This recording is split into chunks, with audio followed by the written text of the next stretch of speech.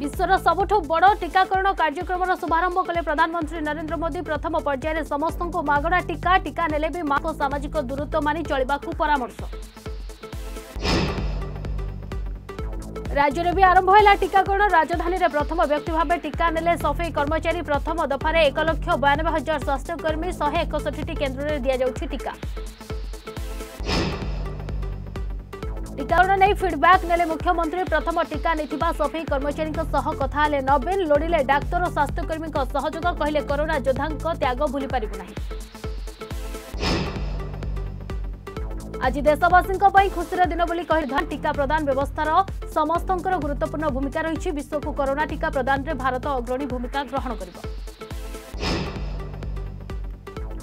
नागगড়ের হাতি উপদ্রব বানিগোছা পশ্চিম বনাঞ্চল অধীন 부গুড়া কলোনি গারে দন্তা আতঙ্ক ফসল নষ্ট সহগতর ভাঙ্গিলা হাতি ঘটনা স্থলরে পনচি ক্ষেত্রতি आकलन কলা বন বিভাগ। কমিশন কা কমিশন কোন নীতি এড়কি আউ মাগনা অলিয়া উঠাইবো নাহি ব্রহ্মপুর মহানগর নিগমন নয়া বর্ষরে নয়া নিয়ম লাগো বিএমসিৰ অযব নীতিক স্থানীয় অঞ্চলরে বিৰোধ।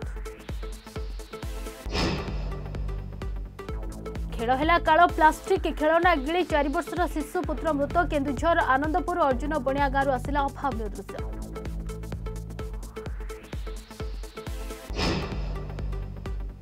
ଶେଷରେ ବଲାଙ୍ଗୀର ହାତୀ ଶାଳପଡ଼ାରେ ଦୁର୍ବୃତ୍ତଙ୍କ ଖଣ୍ଡା ଆକ୍ରମଣ ଦୁଇ ଗୁରୁତର ପୂର୍ବ ଶତ୍ରୁତାରୁ ପନ୍ଦରରୁ କୋଡ଼ିଏ ଜଣ ଦୁର୍ବୃତ୍ତ ଆସି ଆକ୍ରମଣ କରିଥିବା ଅଭିଯୋଗ ଗୁରୁତର ଦୁଇ ଯୁବକ ବୁର୍ଲା ସ୍ଥାନାନ୍ତରିତ